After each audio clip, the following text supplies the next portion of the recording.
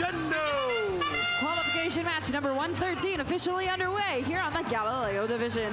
A little bit of a collision here on the midfield between a red and blue alliance robot. 461 racing to grab one of those notes, but knocking into the stage on their way back. 177 Bobcat Robotics will stay parked right at the half court line. We're 26 to 24 in favor of blue, moving into our teleoperated period. A very close match indeed, coming out of autonomous. We're going to go note for note and shot for shot here early on. A little bit of a collision here on the scoring table sign between 51-14 and 539. Bobcat Robotics trying to sneak around the stage in order to score some notes into the Red Alliance amp. Right out of the gate, both of these teams have triggered the cooperation bonus, but we are still one point apart before the first amplification cycle. We're gonna see who's gonna be first. Looks like it's gonna be the Red Alliance.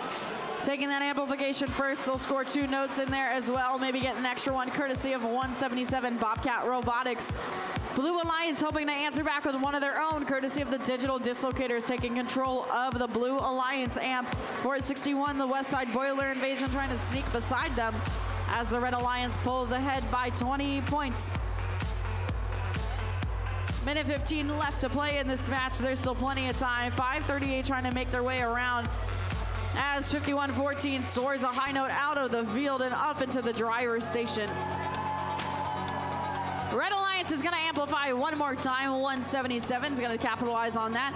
539 trying to weave their way around some Blue Alliance traffic in order to make that Red Alliance amplification count. But the Red Alliance robots get back just in the nick of time. Up and out of the stadium, one note goes into our lovely little scoreboard.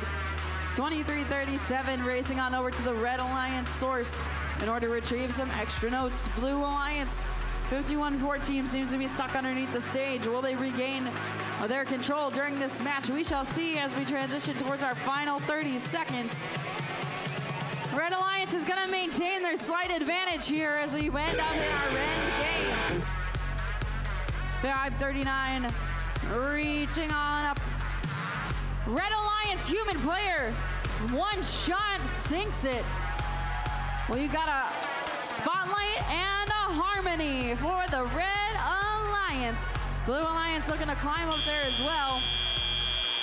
We've got three robots up in the air for match number 113, and we'll be back with your scores with a score of 83 to 48. Red Alliance is going to take home all four ranking points. Two for the win, one for the melody, and one for the ensemble. Blue Alliance is also going to take home the ensemble ranking point as well. A little bit of shakeup in